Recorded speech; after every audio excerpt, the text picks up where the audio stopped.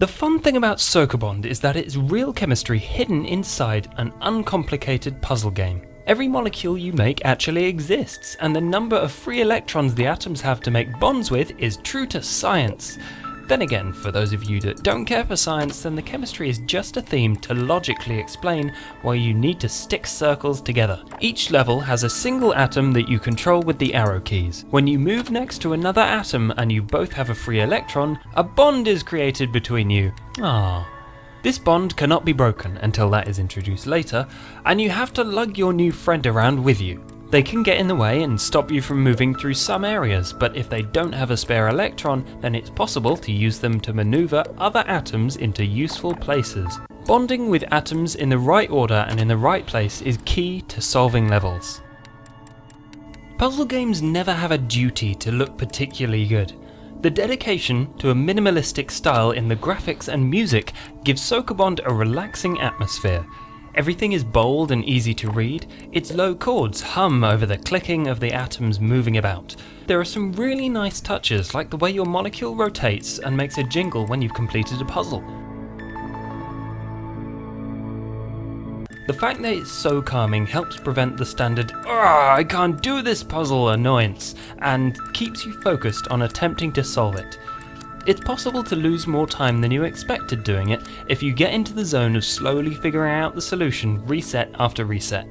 If the urge to give up wins, then there will always be a different puzzle open to try. The feedback for moving and making bonds is satisfying. If you're trying to shift into an area that you can't, then your atoms shake about like they're mildly distressed you would even suggest such a thing. It's also satisfying to hear that as you build up the size of your molecule, the music adds more layers to the chords, leading to a triumphant but still serene sound as you finish the level. When your finished particle spins slowly on screen, a snippet of related trivia appears. They're the kind of fact that you can have a chuckle at or tell your friends later. Once you have completed the basic levels, you unlock new sets of levels, each focusing on a new game mechanic. These include breaking bonds, increasing the number of bonds between two atoms, and changing the direction of bonds. Groups of levels start with one or two that introduce you softly into the new mechanics. Then multiple levels become available to you in a difficulty curve that has a few spikes in it to keep you improving and thinking. Each feels thoroughly explored in 10 or more levels.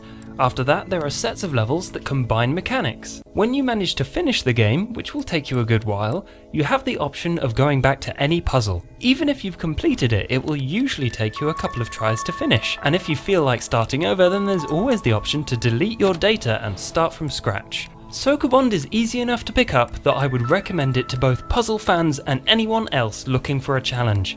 It is available on both Humble Store and Steam for PC, Mac and Linux with plans for a later release on iOS. If you're interested in it, then there are links in the description. Thanks for watching. If you have anything to add or discuss about the game, leave a comment so we can chat about it.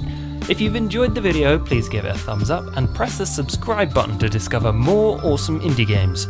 Until next time, goodbye!